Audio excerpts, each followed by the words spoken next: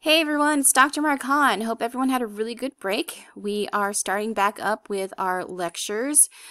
First, we're going to talk about the cardiovascular system, and our first lecture will be on blood.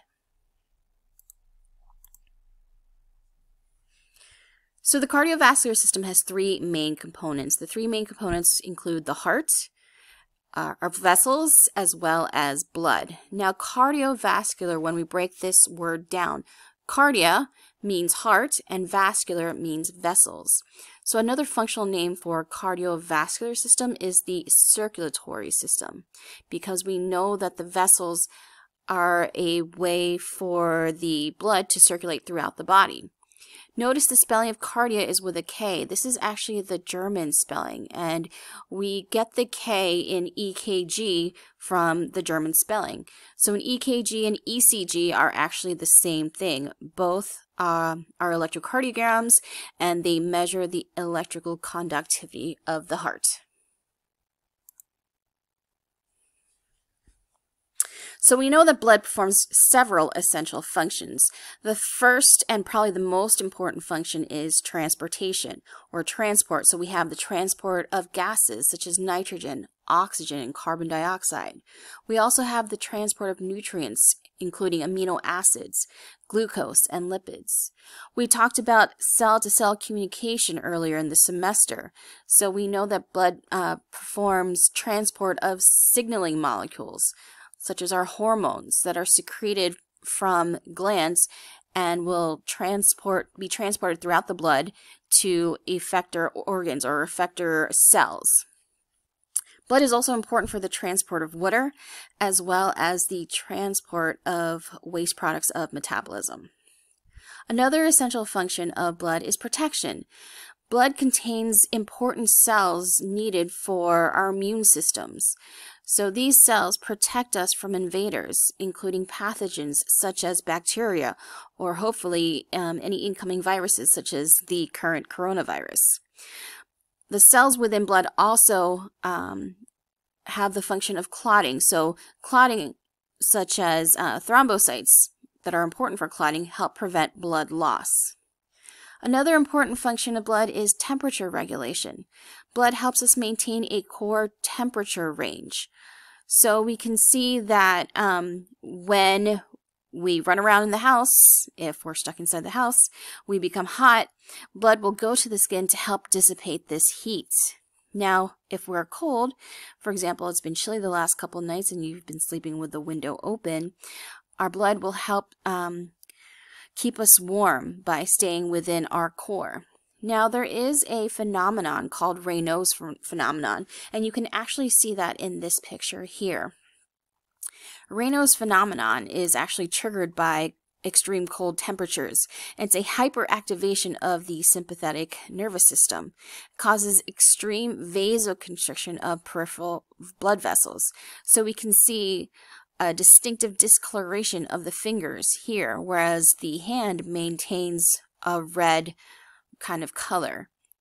And that is Raynaud's phenomenon.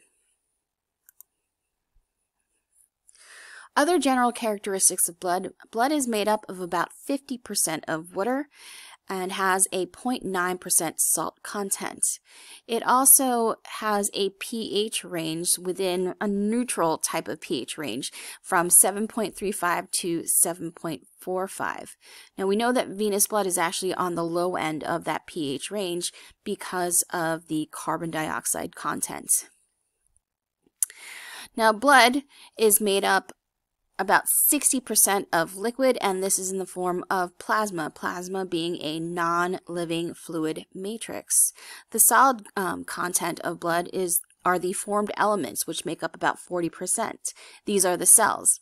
So we have our red blood cells, RBCs, or our erythrocytes. We also have our white blood cells, WBCs, also known as the leukocytes, and we have platelets, again, important for clotting.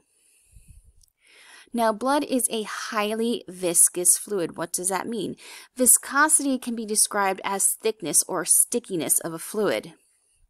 So, blood is highly viscous, meaning it's kind of thick and sticky. Now, uh, the benefit of that is it's it's helpful in avoiding blood loss. The downside is that if it is too thick or sticky, it might be difficult to circulate.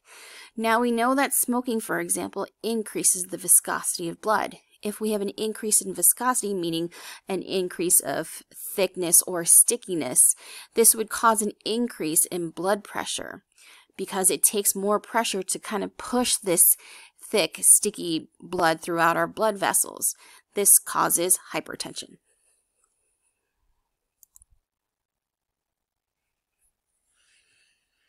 Now, water constitutes the majority of total body weight.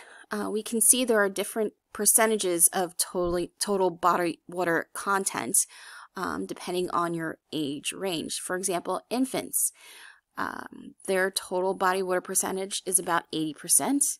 A middle-aged individual would be about 60%, and elderly people, they are made up of about 55% of water. Now you'll hear about uh, a description of a magical mythical male. Um, this type of male uh, we consider as a reference male. So this person or this male weighs about 70 kilograms or about 154 pounds. So what they're saying is the typical male is roughly 154 pounds. Uh, this standard value was actually derived from the data published in 1984 by a group called the Inter International Commission on Radiological Protection, or the ICRP. Now, at the time, they were setting the guidelines for permissible radiation exposure to, to people. And they selected a young white European male who weighed about 70 kilos, which is equivalent to 154 pounds, as their reference man. They then determined that he has to have a reference woman. Now, this reference woman, of course, was also young uh, and weighed about 58 kilos or 127.6 pounds. Now, we all know that the population of the United States has gotten a lot larger and heavier since then. I mean, for me, the last time I probably weighed 127 pounds was probably high school. Anyways, so 70 kilograms is equivalent to about 154 pounds. If we know that this individual or this, this reference man is about middle aged, 60% of his weight is what will make up his body water percentage. So 60% of 70 is 42 kilograms. Um, one kilogram is about equivalent to one liter of water. So 42 kilograms equals 42 liters.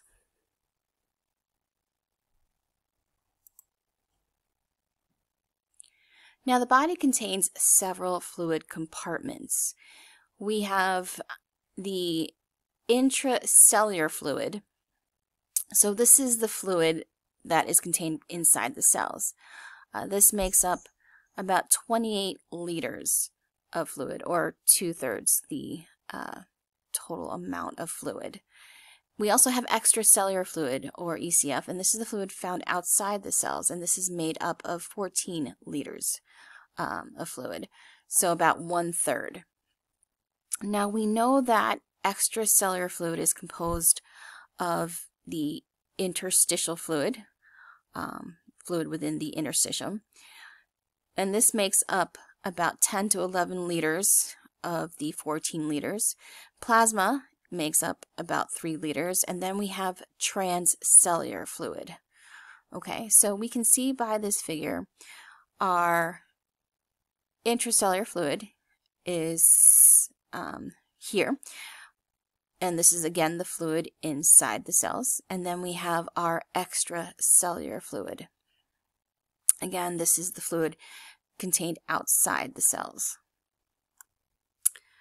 Uh, this picture really isn't a fair representation of the amount of fluid and where the fluid is contained because we know that the majority of the fluid is again found inside the cells. About 28 liters or two-thirds the amount of fluid is contained within the cells whereas only about a third of our fluid is contained um, outside of the cells in our plasma as well as in the interstitial fluid.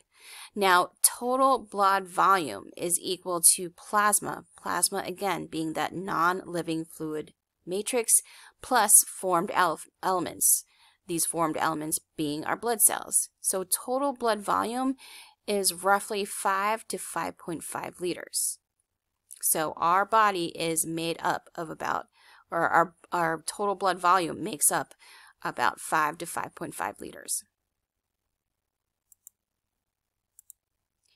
Now we know that blood volume does vary with body weight.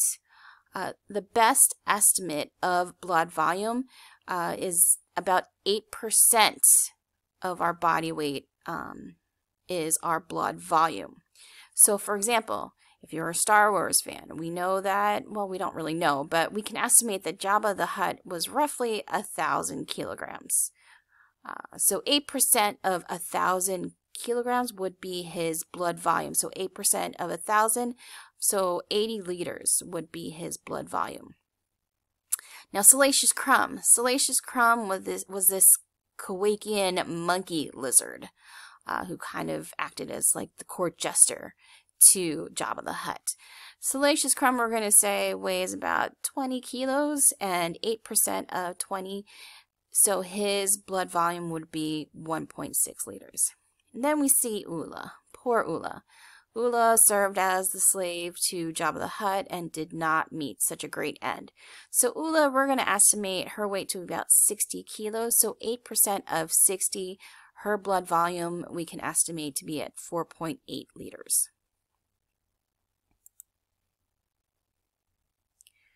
So we can centrifuge blood to separate blood into his its components. So centrifuging blood involves placing blood into a test tube. We then place this test tube in a machine that spins these the test tubes around and separates blood into uh, its components. So we can see, if we look at a test tube that has been centrifuged, we can see that the top layer right here is the plasma. Again, plasma being that non-living fluid matrix. Plasma makes up about 58% of blood volume. Separating the plasma from the red blood cells is this pale uh, buffy coat. Now, this buffy coat is actually made up of the white blood cells. So, white blood cells include uh, leukocytes as well as platelets.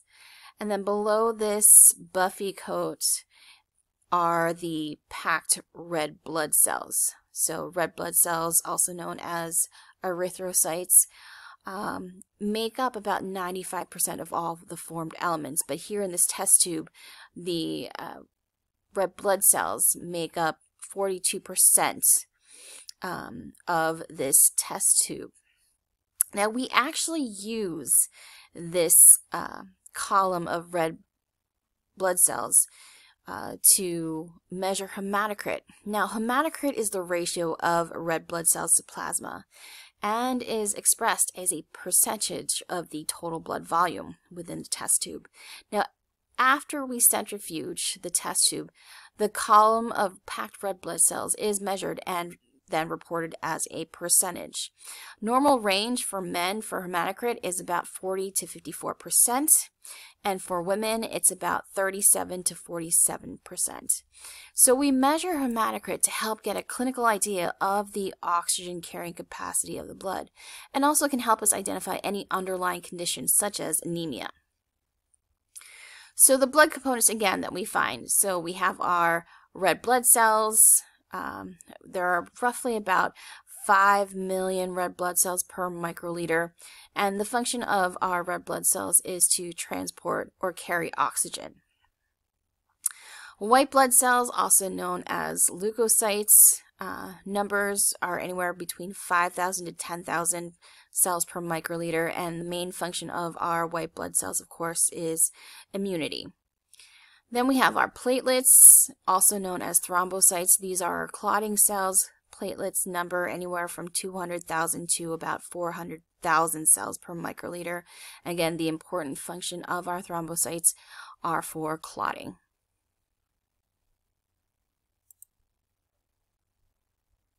Now, plasma is primarily composed of water, and plasma makes up about 50 to 60 percent of whole blood. So plasma is, again, the non-living fluid matrix of the blood where cellular elements are suspended.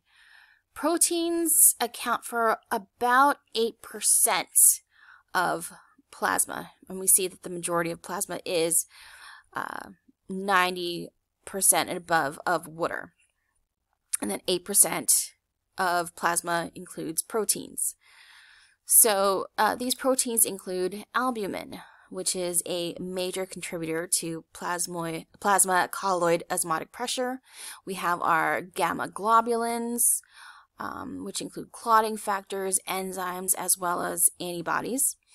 Uh, fibrinogen, which is essential for blood clotting.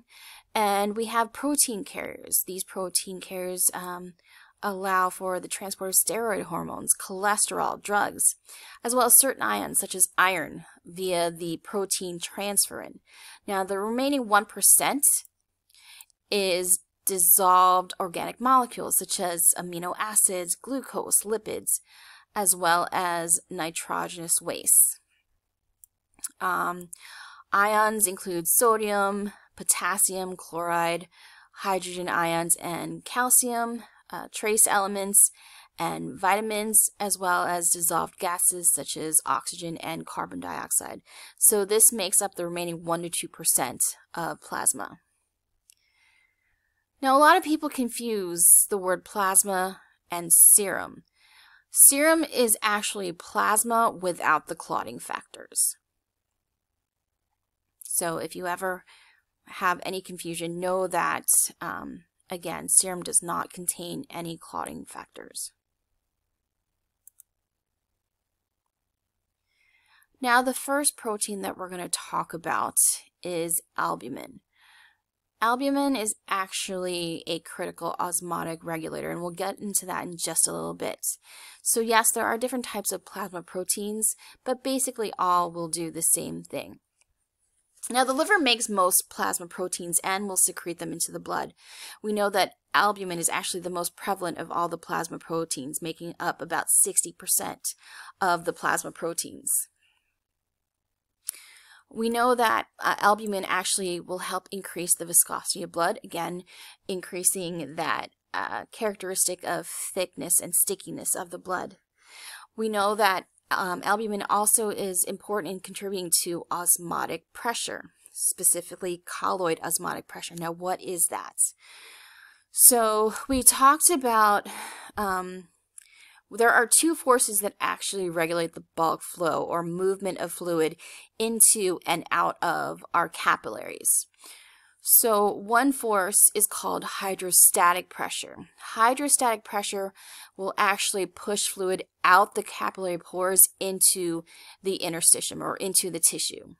Now another pressure is osmotic pressure. Osmotic pressure is actually determined by the solute concentration of a compartment. So osmosis, we talked about the uh, the movement of water. So the main solute difference between plasma, which is um, in the capillaries, and interstitial fluid is due to the presence of proteins. Um, so these proteins are present in plasma but are mostly absent from the interstitial fluid. So this causes an a solute concentration gradient. So there are more plasma proteins in in the plasma, but none in the interstitial fluid. So where is water going to go? Water is going to go where there is more, uh, where there's more stuff, where there's proteins. So the presence of proteins in the plasma makes the osmotic pressure of the blood higher than that of the interstitial fluid. So again, this osmotic gradient will actually pull water from the interstitial fluid into the capillaries and then will also offset the filtration out of the capillaries created by blood pressure. So water is being pulled back into the capillaries. This is actually a way of preventing edema. So again, the osmotic pressure created by the presence of these proteins in the plasma is known as colloid osmotic pressure and this is also known as oncotic pressure. if we have a situation we have where we have hypoproteinemia, meaning low protein in the blood, uh, that means that there are no proteins in the plasma, so we can't pull fluid back from the interstitium into the capillaries. And what will happen? So fluid will go into the tissue and create edema. And this is when we have low protein in the blood. So here we can actually see a picture, um, the differences between the two legs. Here we see swelling, a swelling occurring in one leg. Um, this is uh, a sign of edema. Edema can also occur in um, women who are pregnant. Um, and just if there's low protein in the blood, this actually pre prevents the pulling of fluid back into the capillaries. So fluids goes into the tissues causing edema.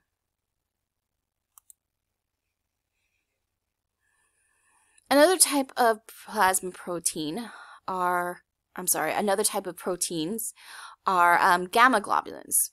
Gamma globulins are actually very essential for the immune response. Uh, gamma globulins are a subclass of our serum proteins. Um, they are named based on how they migrate during electrophoresis. And we have um, immunoglobulins or antibodies that are a type of gamma globulin. So immunoglobulins or antibodies are synthesized and secreted by specialized blood cells rather than by the liver. These cells, also known as lymphocytes. Um, we know that immunoglobulins and antibodies are very important to provide protection from foreign invaders. Um, gamma globulins or immunoglobulins are the most varied blood protein in that they are very specific antibodies that are created for each invading pathogen. Now, if we look at this picture, this is actually a picture of a typical antibody. So the structure of the antibody includes light chains. So these outer chains right here are called light chains. So there are the light chains. And then the inner chains are called heavy chains. Okay. So we have the outer light chains and the inner heavy chains. The amino terminal of the antibody we can see right here. This is also known as the antigen binding fragment or the FAB. So this is actually the variable part of the antibody that is, as we can see, made up of both parts of a heavy chain and a part of a light chain. Um, so this variable part of the antibody is what recognize specific antigens. The other part of the antibody is called the constant fragment right here. So the constant fragment made up of a constant light chain and a constant heavy chain. This cost constant fragment, also known as the FC, has a carboxy terminal. Um, it's this part of the antibody that will determine the isotype of the immunoglobulin, meaning whether it's an IgM, IgG, IgD, IgA, or IgE. So again, immunoglobulins are a major class of gamma globulins. Not all immunoglobulins are gamma globulins and not all gamma globulins are immunoglobulins. We do have different types of gamma globulins. So with regards to variation, um, we have genes that um, allow for specific parts of the gene to basically uh, determine the the variation of the antibodies. We have sites called VDJ sites on the gene, and these V as in Victor, D as in dog, J as in Jack. These VDJ uh, parts of the gene um, undergo recombination. And this recombination allows for diversity and variation of the antibodies to allow for binding of specific antigens.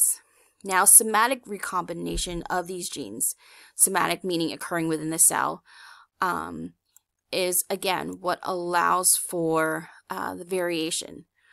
Um, so the variable region is encoded in several pieces. We have variable V, uh, diversity D, and joining J. So that is our VDJ. Multiple copies of the VDJ gene segments actually exist and are tandemly arranged um, by the developing B cell, B cell being the B lymphocyte. So the B cell will then assemble these different regions randomly um, and will select and combine one V, one D, and one J gene segments. And these different combination of gene segments will be used um, to generate a huge number of antibodies.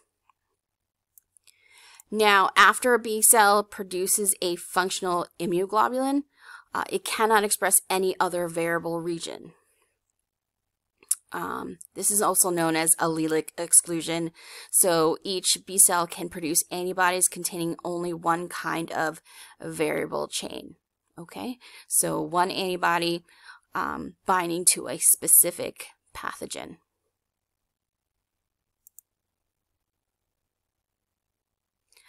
Another type of plasma protein um, is fibrinogen. Now, fibrinogen is a soluble precursor. It's very important for blood clotting. Uh, during the coagulation pathway, a chemical signal allows for the formation of a specific enzyme called thrombin. Thrombin will then convert fibrinogen into insoluble fibrin polymers that will become part of a clot. So fibrin coming um, again being formed by the conversion of fibrinogen via the enzyme thrombin, will form that net for clots to form on. So here we can see that pinkish, uh, stringy-like structure, which again uh, helps form clots.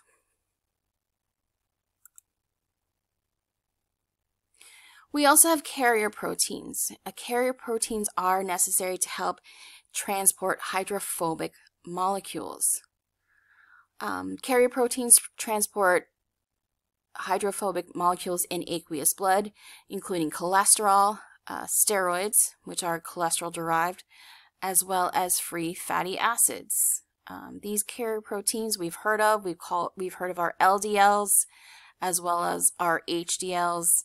Um, LDLs, if you think L starts, yeah, the word lousy starts with L, so these are, are lousy um, carrier proteins, whereas when we do a blood test, testing for um, our different fats and cholesterol, we want high HDLs, HDLs being our happy uh, lipids. So LDL stands for low density lipids, HDL stands for high density lipids.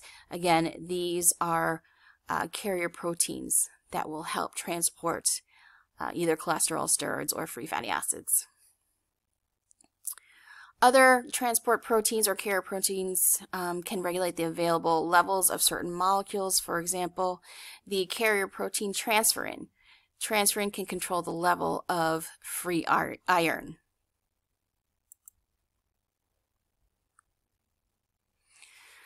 So this slide just shows a summary of blood characteristics. So blood um, has a 0.9% salt content, has a neutral pH range um, between 7.35 to 7.4 or 7.45 is highly viscous. Again has that property of being thick or sticky.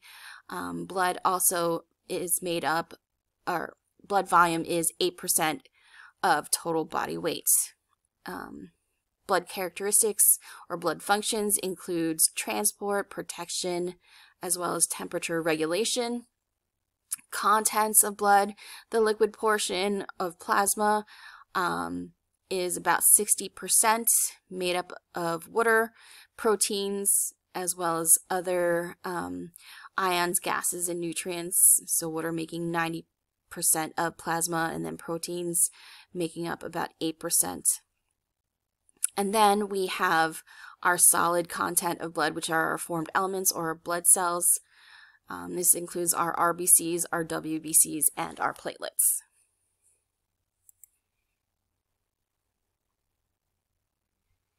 So where is blood produced? We know that red bone marrow produces most blood components. Red blood cells are produced by red bone marrow. White blood cells are made up, are produced by red bone marrow as well as lymph tissue, and platelets again um, are produced in the red bone marrow. Now, in adults, bone marrow um, and blood cell production are produced mainly in the pelvis, uh, spine, ribs, cranium, as well as the proximal ends of long bones. Active marrow is red because of the presence of hemoglobin, hemoglobin being that oxygen binding protein of red blood cells. Inactive marrow is yellow, and this is due to the abundance of adipose tissue um, or fat. Now, in the regions with active bone marrow, about 25% of the developing cells are red blood cells, and 75% are destined to become white blood cells. And this is because the lifespan of white blood cells is relatively shorter compared to red blood cells, so um, white blood cells have to be replaced more often.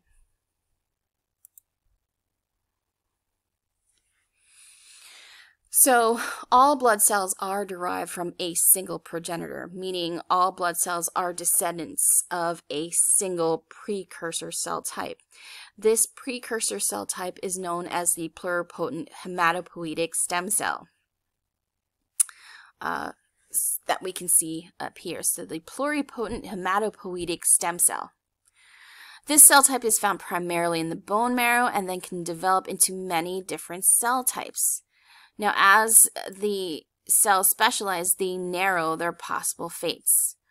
So they will, uh, the pluripotent hematopoietic stem cell will then become an uncommitted stem cell. Um, the uncommitted stem cells will then become progenitor cells that are committed to developing into one or more cell types. So progenitor cells differentiate into red blood cells, uh, lymphocytes, and other white blood cells, as well as megakaryocytes. So, megakaryocytes being the parent cell of the platelets.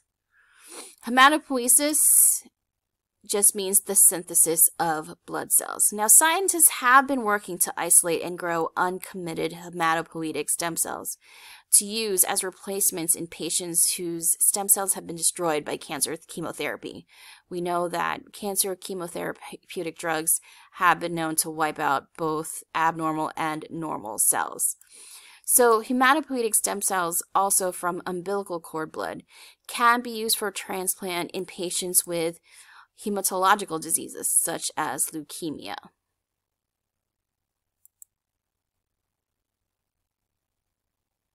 Now, certain chemical factors do encourage differentiation of stem cells into their destined cell types. Erythropoietin, or EPO, is actually to, considered to be a hormone that allows for differentiation of stem cells into erythrocytes. Erythropoietin is produced in the kidney, and it is induced by low levels of oxygen in the tissues. Red blood cell production um, is known as erythropoiesis. So here we see our pluripotent hematopoietic stem cell becoming the uncommitted stem cell, and in the presence of erythropoietin, um, we have production of our erythrocytes.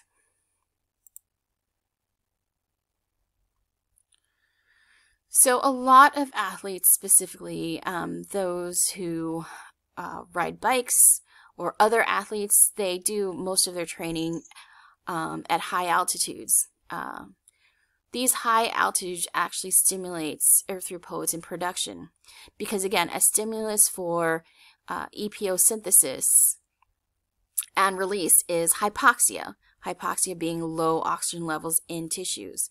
Air at higher altitudes has less oxygen, and by stimulating the synthesis of red blood cells, EPO puts more hemoglobin into the circulation to carry oxygen. So basically, these athletes want to increase uh, the amount of red blood cells in their blood uh, so that they can carry and transport more oxygen to their tissues, allowing their muscles to function better.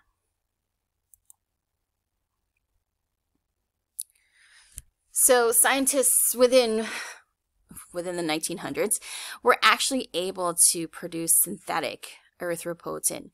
Um, and we know that synthetic EPO does stimulate red blood cell production. Um, so, you know, those athletes not wanting to do the work can actually use synthetic EPO. So in the 1980s, a recombinant human EPO was produced. Uh, the company Amgen um, produced darbepoetin. Darbepoetin actually binds to the erythropoietin receptor on erythroid progenitor cells, which does stimulate RBC production and differentiation. So it actually acts as a synthetic agonist to increase, increase uh, red blood cell production. But there are consequences. Now, while synthetic EPO does stimulate RBC production, uh, it was determined as a banned substance because, again, it's a drug that was produced synthetically um, and gave other athletes an edge over those that didn't take drugs. So, an example of this is the 2002 Salt Lake City Olympics. We have um, a co- cross country skier represent- representing Germany. No, uh, his name was Johann Mühlegg, with a little umlaut over the U. So, he won three gold medals um, and then tested positive for synthetic EPO after winning his first two gold medals. Now, originally, the last one was taken away um, because of the pres presence of synthetic EPO, but the so the International Olympic Committee initially let him keep his gold medals from the first two races. However, in December 2003, they later took all the golds away. Um, and it was found that more than 100 athletes tested positive for blood doping.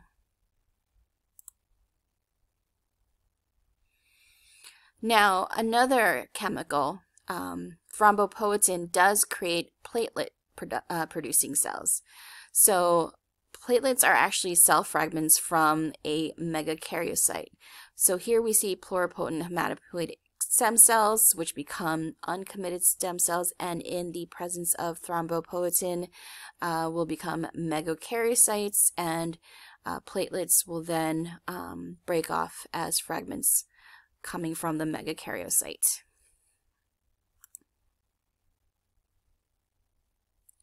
So here we see um, leukocyte production does involve two chemical signals. First being leukopoietin. Um, so in the presence of leukopoietin, first the pluripotent hematopoietic stem cell uh, will become the uncommitted stem cell, and then leukopoietin will actually allow this cell to eventually differentiate into leukocytes. We also have another chemical signal coming from colony stimulating factor or CSF.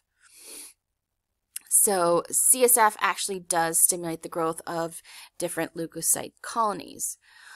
Um, we have signals called cytokines. Cytokines are peptides or proteins released from one cell that affect the growth or activity of another cell. So we can say that colony stimulating factor is a type of cytokine. Uh, CSF is actually made by endothelial cells, marrow fibroblasts, and leukocytes uh, that regulate leukocyte production and development, also known as leukopoiesis. Now, CSF does induce both cell division through mitosis as well as cell maturation in stem cells. So here we see the, with the presence of these two chemical signals, we then have the production of our leukocytes, such as our neutrophils, monocytes, basophils, eosinophils, and lymphocytes. So bone marrow produces three times more white blood cells than red blood cells, as I've said earlier. Um, so the cells produced Out of the cells produced, 25% will be red blood cells and 75% will be white blood cells. And this is because, again, white blood cells have a shorter lifespan compared to red blood cells. For example, neutrophils.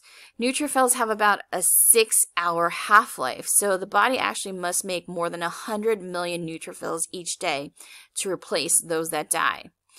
Um, and then we have uh, red blood cells. Red blood cells actually live for months in circulation. So we don't need as many red blood cells to be, to be produced compared to white blood cells. So as a summary, hematopoiesis, again, is the synthesis of blood cells. Um, here we see that the majority of our blood cells come from a single uh, pluripotent hematopoietic stem cell. Say that five times fast. Um, red blood cells and platelets only require one signal, that being erythropoietin. Um, here, thrombopoietin actually allows for the cell to become a megakaryocyte and then a platelet. Whereas the rest of the white blood cells require two signals, that being leukopoietin as well as the cytokine colony stimulating factor. And the production level within the bone marrow, about 25% of those cells are red blood cells and 75% of those cells are white blood cells. Okay, so that's part one of the blood lecture. Part two will be coming up next.